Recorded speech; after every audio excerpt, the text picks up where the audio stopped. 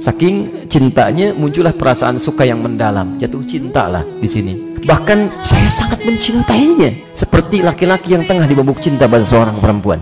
Memang sudah sampai pada tingkatan cinta luar biasa sehingga nah ini yang jadi persoalan. Kalau sudah masuk hal-hal yang demikian, seharusnya itu harus diselesaikan. Jangan banyak dipendam lama-lama. Setan bermain nanti di situ.